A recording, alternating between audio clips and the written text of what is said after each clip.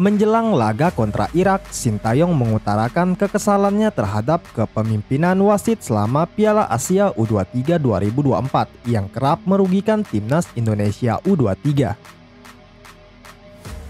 Garuda Muda berhasil mencapai babak empat besar di Piala Asia U23 tahun ini yang mana merupakan sesuatu yang tak terduga bagi supporter timnas Indonesia U23 sebelum turnamen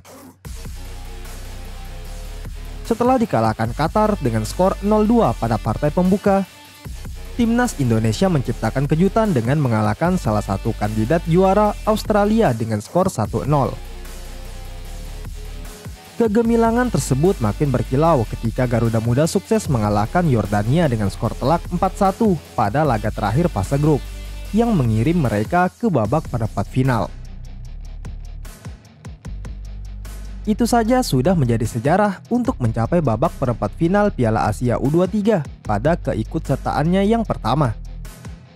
Euforia publik memuncak setelah timnas Indonesia U23 berhasil mengalahkan Korea Selatan lewat adu penalti pada babak perempat final.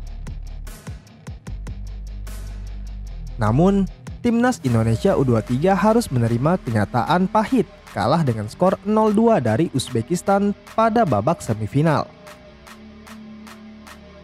Meski tak dapat menjadi juara Piala Asia U23, Garuda Muda masih berharap untuk bisa meraih tiket untuk lolos ke Olimpiade Paris 2024 dengan cara mengalahkan Irak dalam perebutan tempat ketiga.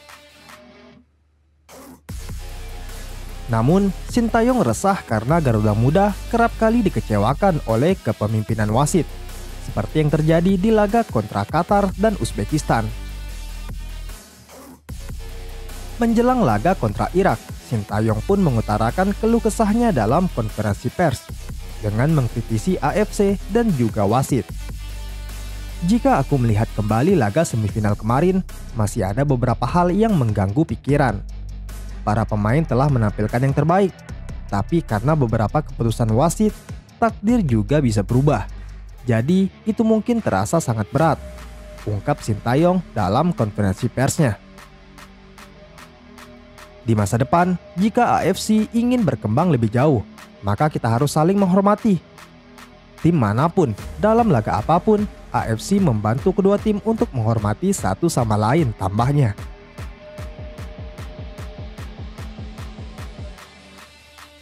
Pelatih asal Korea Selatan itu pun berharap agar AFC menunjukkan rasa hormat kepada tim-tim peserta melalui kepemimpinan wasit yang adil agar tim-tim tak merasa dirugikan. Aku juga telah melihat ulang videonya dan aku telah menghabiskan lebih dari 40 tahun di dunia sepak bola. Jadi, aku ingin ada rasa hormat dari AFC dan juga kedua tim bisa dihormati satu sama lain dan juga oleh AFC. Ungkap Sintayong dengan tegas. Ia kemudian menambahkan, soal pertandingan kontra Irak, tentunya kedua tim ingin mengeluarkan performa terbaiknya dan karena itu, aku berharap AFC bisa membuat laga ini menjadi adil. Tutup pelatih asal Korea Selatan tersebut.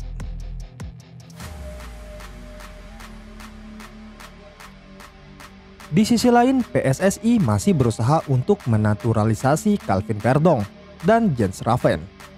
Keduanya bisa menambah kekuatan timnas Indonesia di posisi back dan penyerang.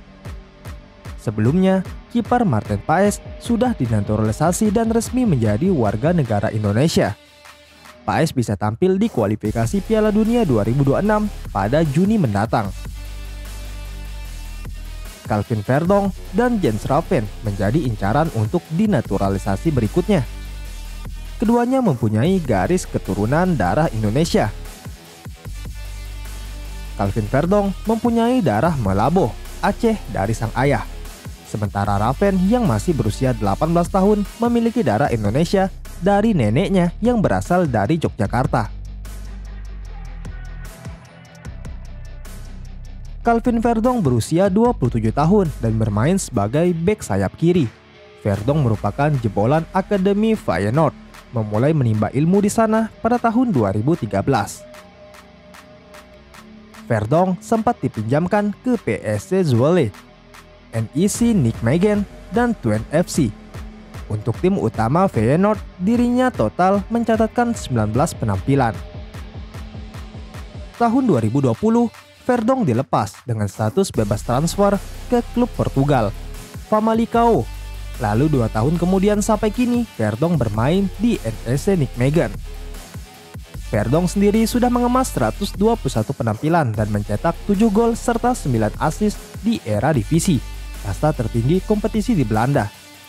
Verdong belum pernah memperkuat timnas senior Belanda, meski pernah mengemas satu penampilan bersama timnas kategori kelompok umur U21. Sedangkan Jens Raven masih berusia 18 tahun dan berposisi sebagai penyerang tengah. Tingginya 1,89 meter. Raven sejak tahun 2023 kemarin memperkuat Reds U21.